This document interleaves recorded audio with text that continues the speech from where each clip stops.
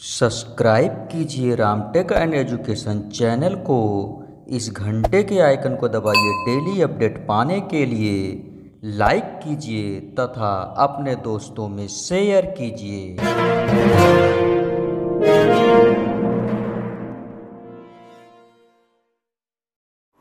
Hello, नमस्कार दोस्तों, आप सभी का स्वागत है आपके अपने यूट्यूब चैनल रामटेक एजुकेशन में। दोस्तों, आज मैं आप सभी को पढ़ाने वाला हूँ संख्या पद्धत। दोस्तों, संख्या पद्धत में बहुत से ऐसे स्टूडेंट होते हैं जिन्हें बहुत से अभी भी कन्फ्यूज़न होते रहते हैं। मुझसे कुछ स्टूडेंट ने डिमांड किया है कि, सर, मुझे संख्या पद्धत पे एक वीडियो चाहिए और आप संख्याओं के प्रकार और अंकों के बारे में हमें आप डिटेल में बताइए। इसलिए दोस्तों, मैं आज आपके लिए खास तौर से ये वीडियो लेकर आया हूँ। दोस्तों, आप सभी लोग इस वीडियो को ध्यान से देखिएगा और आपके सारे कन्फ्यूज़न दूर हो जाएँगे।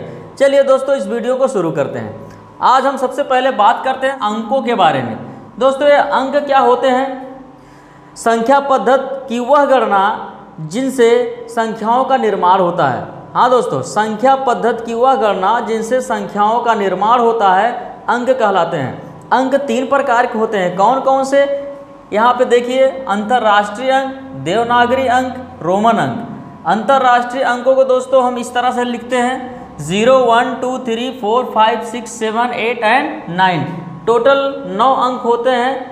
एक से लेकर नौ तक। और ज़ीरो को शामिल कर देते हैं तो टोटल दस अंक बन जाते हैं दोस्तों। तो इस तरह से आगे संख्याओं का निर्माण होता है इन्हीं अंकों से। हम संख्याओं के बारे में भी चर्चा करेंगे। अब हम बात करते हैं देवनागरी अंक। देवनागरी अंक भी इसी तरह से लिखे जाते हैं। ज़ीरो को ज़ीरो इसी तरह से लिखा जाएगा। उसके बाद जो देखिए आगे वन को इस तरह से लिखा जाता है। तो one, two, three, four, five, six, seven, eight, nine. इसको हम दोस्तों शून्य, एक, दो, तीन, चार, पाँच, छः, सात, आठ, नौ इस तरह से पढ़ते हैं। अब हम बात करते हैं रोमन अंक के बारे में। रोमन अंक के बारे में दोस्तों, इस तरह से हम संख्या लिखते हैं। जैसे हमें लिखना होता है, हम यहाँ रोमन अंक में ऐसे लिखेंगे। इसमें देखिए आई को हम वन पढ़ते हैं और डबल आई को टू पढ़ते हैं। इस तरह से हम दस तक का अंक यहाँ पे लिखे हैं। आगे और भी अंक लिखे जाते हैं जो संख्याएँ बनती हैं उनसे। अब यहाँ पे आप देख सकते हैं, ये one two three four five six seven eight nine ten इस तरह से दोस्तों रोमन अंक लिखे जाते हैं। रोमन अंक में ऐसे ज़ीरो लिख सकते हैं, लेकिन ज़ीरो ऐसे नहीं लिखा जाता है रोमन अंकों में। रोमन अंक में अगर हमें दस लिखना है तो जैसे अगर इसमें हमें दस लिखना होता है तो हम एक के आगे ज़ीरो लगा देते हैं तो दस हो जाता है। लेकिन रोमन अंकों में ऐसा नहीं कोई है। रूल, इसमें हम एक्स लिख देते हैं तो इसका मतलब ये आपका हो गया आपका दस। अगर हमें बीस लिखना है तो हम डबल एक्स लिख देते हैं तो हो जाता है बीस। इसके बारे में हम आगे डिटेल में आपको चर्चा करेंगे और आपको ढेर सारी संख्याएँ लिख करके बताएँगे, कैसे रोमन अंकों में लिखा जाता है। तो उसके बाद दोस्तों हम बात करते हैं अंकों के बाद आता है संख्या। संख्या क्या होती है? संख्या पद्धति की वह गणना जो अंकों से मिलकर बनी होती है संख्या कहलाती है। संख्याएँ दोस्तों अंकों से मिलकर बनती हैं जैसे 11, 12, 13, 14, 15, 20, 22, 25 जो भी लिखना हो। दोस्तों अब बात करते हैं संख्याओं के प्रकार के बारे में। दोस्तों संख्याएँ कुल कई प्रकार की होती है? मैंने यहाँ 12 प्रकार की संख्याओं का यहाँ पे लिखा हुआ है। और आपको मैं यहाँ 12 प्रकार की संख्याएँ सिखाऊँगा दोस्तों। आज के बाद आपको संख्या संबंधी कोई भी कन्फ्यूज़न नहीं रहेगा। इस वीडियो को ध्यान से देखिए। अब हम शुरू करते हैं संख्या के प्रकार। सबसे पहले हम बात करते हैं प्राकृतिक संख्या के बारे में। प्राकृतिक संख्याएँ क्या होती हैं? वे संख्याएँ जो वस्तुओं की गणना करने के लिए प्रयुक्त होती हैं, प्राकृतिक संख्याएँ कहलाती हैं। जैसे एक, दो, तीन, चार, पाँच। इस तरह से दोस्तों आगे अनंत तक चली जाएँगी। ये संख्याएँ जो होती हैं, आपको कोई भी वस्तु जब आप गिनते हैं ना तो एक, दो, तीन, चार, पाँच छः सात, आठ, इस तरह से गणना करते हो तो इसलिए ये सभी संख्याएँ जो है गणना में प्रयुक्त होती हैं, इसलिए प्राकृतिक संख्याएँ कहलाती हैं।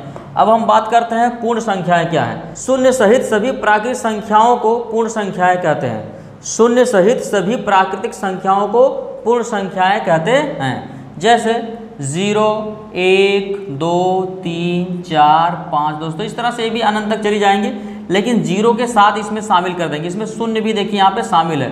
तो शून्य सहित सभी प्राकृतिक संख्याएँ जो हैं, पूर्ण संख्याएँ। अब हम बात करते हैं पूर्णांक के बारे में।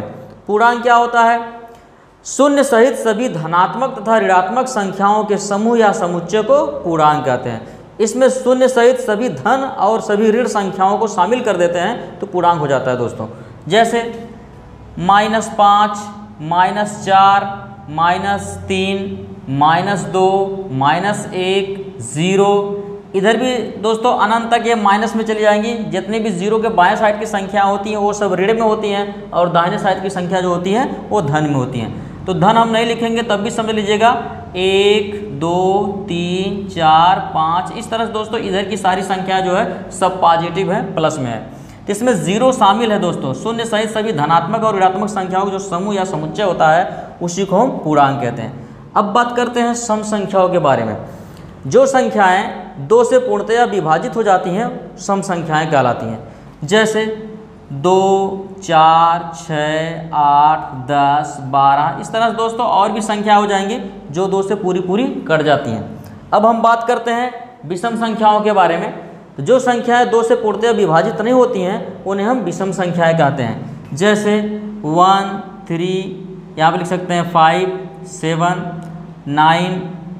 इस तरह से दोस्तों, आगे की जितनी भी संख्याएँ आप देख सकते हो, जैसे एक, तीन, पाँच, सात, नौ, ग्यारह हो गया, उसके बाद तेरह हो गया, पंद्रह हो गया, इस तरह से और भी संख्या होंगी, जो दो से पूरी पूरी नहीं कट पाती हैं या उनको पूरी तरह से हम भाग नहीं दे पाते हैं दो से कोई न कोई शेष बच जाता है। तो ऐसी जो संख्याएँ होती हैं, वो विषम संख्याएँ कहलाती हैं। अब हम बात करते हैं आभास संख्याएँ दोस्तों, ये जो आभास संख्या होती हैं, बहुत से स्टूडेंट इसको लेके कन्फ्यूज़न में रहते हैं। आभास संख्या क्या होती हैं? दोस्तों, आभास संख्या वे संख्या होती हैं, जो एक और स्वयं के अतिरिक्त किसी दूसरी संख्याओं से नहीं कट पाती हैं। तो सीधे वे में हम कह सकते हैं, जो संख्याएँ एक या स्वयं के अतिरिक्त किसी अन्य संख्याओं से नहीं कट पाती हैं या विभाजित नहीं हो पाती हैं, आभास संख्या कहलाती हैं। आभास संख्या दोस्तों, या तो स्वयं से कटेंगी, या तो फिर एक से कटेंगी, बाकी और किसी संख्याओं से नहीं कट पाएँगी।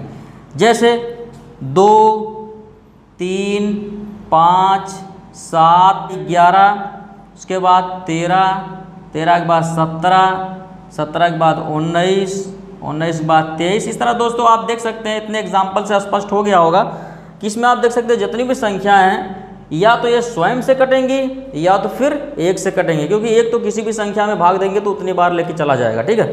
लेकिन और बाकी जो संख्या है, अब स्वयं से कटेंगे। जैसे तेईस को अगर भाग देंगे, तेईस से तो एक बार जाएगा, और एक से भाग देंगे तो तेईस बार जाएगा। ठीक है, इस तरह जितनी भी संख्या हैं, सब या तो स्वयं से कटेंगे, या तो फिर एक से कटेंगे, बाकी और किसी संख्याओं से नहीं कट पाती इसलिए सभी संख्याएँ दोस्तों क्या हैं? अभाज्य हैं। ये देख सकते हैं, दो भी एक अभाज्य है, दो एक ऐसी संख्या है, जो सम भी है और सबसे छोटी क्या है? अभाज्य संख्या भी है।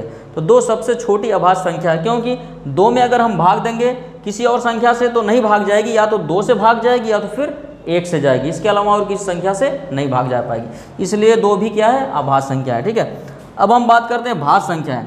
भाज्य संख्याएँ क्या होती हैं? जो संख्याएँ एक और स्वयं के अतिरिक्त किसी अन्य संख्याओं से भी विभाजित हो जाती हैं, भाज्य संख्याएँ कहलाती हैं। जैसे, चार हो गया छ आठ, नौ, दस, पंद्रह बारह भी हो जाएगा, ठीक है?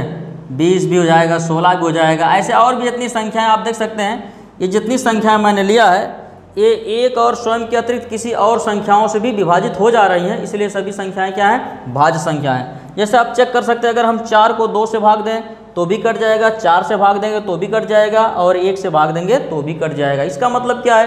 ये संख्या जो है एक और स्वयं के अतिरिक्त किसी अन्य संख्याओं से भी कटने वाली है मतलब विभाजित होने वाली है। इसलिए ऐसी संख्याओं को हम क्या कहेंगे? भाज्य संख्याएँ कहेंगे। अब बात करते हैं सह अभाज्य संख्या है दोस्तों। ये जो सह अभाज्य संख्या होती हैं, ये हमेशा किसी न किसी संख्याओं के युग में होती है मतलब एक जोड़े के रूप में होती हैं। ऐसी संख्याएँ जिनका उभयनिष्ठ गुणनखंड केवल एक हो, सह अभाज्य संख्याएँ कहलाती हैं। दोस्तों, ये जो संख्याएँ होती हैं, ये युग में होती हैं और इनको जब हम गुणनखंड करेंगे तो इसमें कोई भी कामन नहीं मिलेगा एक के अतिरिक्त। इसलिए ऐसी संख्याओं को हम क्या कहेंगे? सह अभाज्य संख्याएँ कहेंगे जैसे, अगर हम यहाँ चार पाँच ले लें दोस्तों तो ये सह अभाज्य संख्या है। क्यों? क्योंकि चार और पाँच में अगर हम देखें, इनका गुणनखंड करके कामन लेने की कोशिश करें तो एक ही सिर्फ़ आएगा एक के अतिरिक्त कोई कामन नहीं मिलेगा। इसलिए ये संख्याएँ क्या होगी? सह आवाज़ संख्या होगी। जैसे हम बारह तेरह लिख सकते हैं इस तरह से दोस्तों हम पच्चीस और अट्ठाईस भी लिख सकते हैं दोस्तों। इस तरह से ढेर सारी आप एग्ज़ाम्पल और भी लिख सकते हैं। इसमें देख सकते हैं कोई भी कामन एक दूसरे से नहीं मिल पा रहे हैं, सिर्फ़ एक के अतिरिक्त। इसमें सभी में एक छुपा होगा क्योंकि गुणनखंड करेंगे तो सबके साथ एक होगा। तो एक के अतिरिक्त इसमें कोई और भी कामन नहीं है। इसलिए ये सभी संख्याओं का जो युग्म है, ये क्या कहलाएँगी? सह अभाज संख्याएँ कहलाएँगी। अब हम बात करते हैं परिमेय संख्याओं के बारे में। वे संख्याएँ जिन्हें p बटे क्यू के रूप में लिखा जा सकता है, परिमेय संख्याएँ कहलाती हैं। परंतु q is not equal to zero होता है दोस्तों। जो संख्याएँ p बटे क्यू के रूप में लिखी जा सकती हैं, परिमेय संख्याएँ कहलाती हैं। लेकिन लेकिन क्या दोस्तों, q is not equal to zero मतलब जो हर इसका होता है, वो ज़ीरो नहीं हो सकता, लेकिन एक हो सकता है। और दोस्तों, परिमेय संख्याएँ वो कौन कौन संख्याएँ होती हैं? पहचान कैसे हम करेंगे परिमेय संख्याओं की? तो जितने भी बटे वाली संख्याएँ होती है, वो सब की सब परिमेय संख्याएँ होती हैं। अगर बटे में नहीं होगा संख्या, उसके नीचे एक छुपा होगा, वो भी परिमेय संख्याएँ हो जाएँगी। दोस्तों, अगर करड़ी के अंदर कोई संख्या, अगर उसका वर्गमूल निकल जा रहा है तो परिमेय संख्या होगी। वर्गमूल नहीं निकल पाता है तो अपरिमेय संख्या होगी। इसके अलावा जो दोस्तों, कोई भी संख्या अगर हम दशमलव के बाद ले जाते हैं, अगर एक ही अंक बार बार दोहरा रहा है तो परिमेय संख्या होगी। अगर एक ही अंक बार बार नहीं दोहरा रहा है बदल बदल के आ रहा है तो अपरिमेय संख्या होगी दोस्तों। इस तरह से मैं यहाँ पे कुछ एग्ज़ाम्पल लिख दे रहा हूँ परिमेय संख्याओं का। जैसे चार बटे पाँच, एक बटा तीन, छः, क्योंकि छः के नीचे एक छुपा होगा। करड़े में पच्चीस ले लिया, पच्चीस का जब वो वर्गमूल निकाल देंगे तो पाँच बटे एक लिख सकते हैं। इसका मतलब वो पी बाई क्यू अर्थात परिमेय संख्याएँ हो जाएँगी। One point three three three, इस तरह दोस्तों आगे और बढ़ता चला जाएगा। इसका मतलब ये क्या है? ये परिमेय संख्या है। क्यों? क्योंकि एक ही अंक यहाँ देखिए बार बार दोहरा रहा है। जैसे तीन हमने ले लिया तो यहाँ पे तीन तीन तीन बार बार दोहरा रहा है, ठीक है? तो ये सब जो है अंक है, ये सब क्या है? परिमेय संख्याएँ हैं। जितने भी हमने लिखा है एग्ज़ाम्पल ये सभी क्या है? परिमेय संख्याएँ हैं। इस पर एक्सरसाइज कराएँगे अलग अलग संख्याओं के बारे में तो वहाँ पे आपका और भी डाउट जो भी होगा, वो क्लियर हो जाएगा। ठीक है दोस्तों, अब हम बात करते हैं अपरिमेय संख्याओं के बारे में। तो जो संख्याएँ पी बटे क्यू के रूप में नहीं लिखी जा सकती हैं, अपरिमेय संख्या कहलाती हैं। अपरिमेय संख्याओं की दोस्तों, पहचान वही है कि अगर कड़ी के अंदर है, वर्गमूल नहीं निकल पाता है तो अपरिमेय संख्या होगी। दशमलव के बाद यदि एक ही संख्या बार बार नहीं दोहरा पा रही है तो वो भी क्या होगी? अपरिमेय संख्या होगी। ठीक है दोस्तों, इसके अलावा अगर कोई, जैसे पाई हो गया, पाई का मान जब बाईस बटा सात रख देते हैं तो बटे के रूप में दिख रहा है, पी बटे क्यू के रूप में दिख रहा है तो वो आपका परिमेय संख्या हो जाएगा। लेकिन जब केवल पाई लिखेंगे तो परिमेय संख्या नहीं रह पाता है, वो अपरिमेय होता है। तो इसके भी कुछ एग्ज़ाम्पल मैं लिख रहा हूँ, अपरिमेय संख्याओं के बारे में। जैसे कड़ी में तीन हो गया कड़ी में दो हो गया कड़ी में पाँच हो गया, एक दशमलव चार एक चार एक एक, चार एक एक, चार। ऐसे दोस्तों, कोई भी अंक ऐसे आप ले लेंगे जो एक ही संख्या बार बार रिपीटेड नहीं है। देख सकते हैं, एक ही संख्या बार बार रिपीटेड नहीं है, इसलिए ऐसे हम इसको लिख सकते हैं। कोई मैं और एग्जांपल ले सकता हूँ। ज़ीरो पॉइंट टू वन फिर two one one two one one one इस तरह दोस्तों देख सकते हैं, एक ही संख्या बार बार रिपीटेड नहीं है। तो ऐसे ये सब जितनी भी संख्याएँ आएँगे, ये सब क्या है? अपरिमेय संख्या। इसके अलावा दोस्तों जो पाई होता है पाई भी अपरिमेय संख्याओं में काउंट होता है दोस्तों, ठीक है?